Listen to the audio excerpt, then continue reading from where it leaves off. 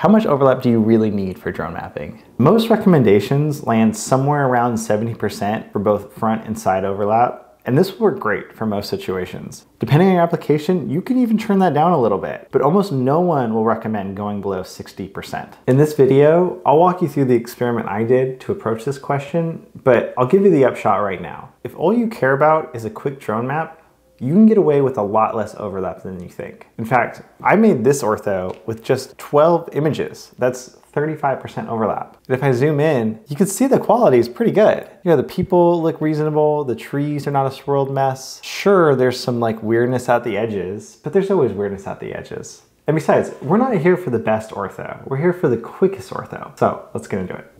I took my personal drone, a DJI Air 2S, to the local park to conduct the test flights. I flew over a 17 acre area, which has a number of features that will be helpful to see where the photogrammetry process breaks down. Specifically, it has easy to reconstruct areas like asphalt and grass, and more challenging features like trees and water. I planned my mission to have the highest overlap possible, 95% for both front and side, and I did this for a few reasons. First, I wanted to test the full range of conditions. This of course includes the low end, but I also wanted to see how a high density best case scenario would perform. And second, by starting out with many photos, I can simply just remove some of them to change the amount of overlap that is being tested. I did this in Python where I wrote a script to simply skip some number of photos in both the forward and side direction. I would then copy what remains to a new folder that I can then process in the following steps.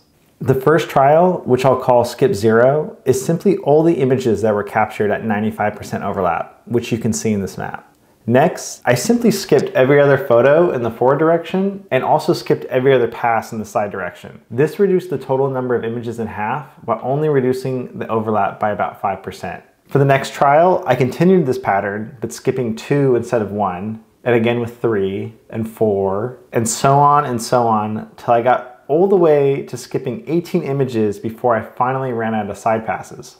In the end, I evaluated 19 different overlap scenarios, ranging from 95% to 10% in the forward direction and about 5% in the side direction. So I loaded each trial into Metashape as its own chunk and processed them with identical settings. It's worth noting that I only aligned and optimized the images and didn't take the process all the way to orthos for each trial.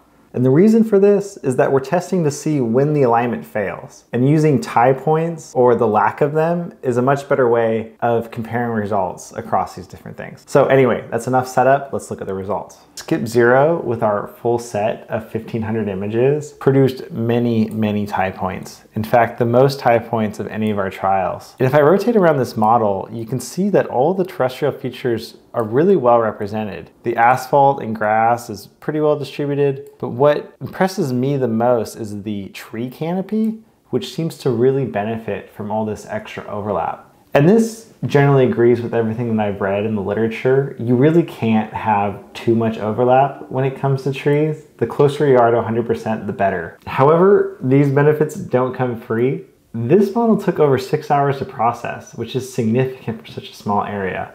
And all those brown points that are shooting from the edge of the scene, those are false matches that are being generated from the surface of the water. If I were to continue processing this data set, I'd have to do a lot of manual cleanup. And this is after I had to make special adjustments for Skip Zero specifically. This is what the alignment looked like the first time I ran Skip Zero. As you can see, there are big gaps in the tie point and a lot of noise from the water. And when we look at the cameras, you can see that many of them never aligned and some got terribly confused, getting bundled up and knotted in these dense clusters. In skip one, we see the total number of tie points drop from 430,000 to 230,000, but much of the structure, including the trees, is comparable to the previous model. The processing time was also much more reasonable, coming in under two hours.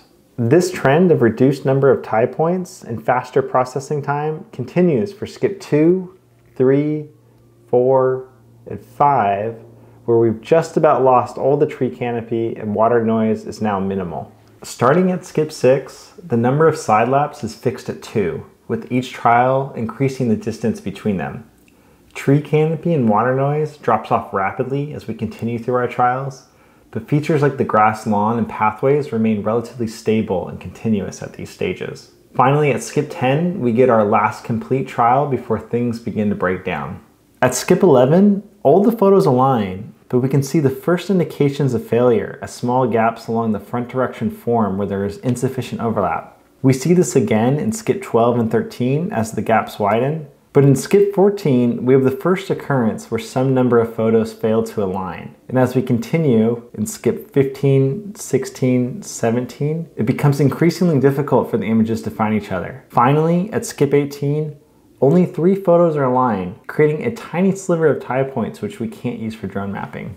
When we look at all these trials together, we can clearly see that maxing out our overlap comes with a high computational cost. Look at the difference between 95% and 90. The processing time dropped from five and a half hours to just under two. And by the time we get to 80%, we've reduced that to just nine minutes. This dramatic and rapid drop in the alignment stage is almost certainly explained by the number of photos that we had to process. In this figure, I've plotted the total number of photos that were captured for each overlap category. We can see almost exactly the same shape as before, where 95% overlap has an excessive amount of photos, which is then more or less cut in half for each trial after.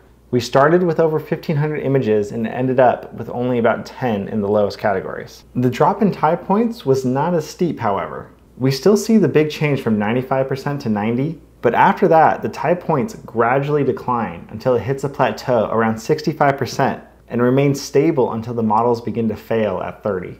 And this tells me there's some slack and flexibility in those middle overlap ranges. It's interesting that 65% overlap would produce around the same number of tie points as 35.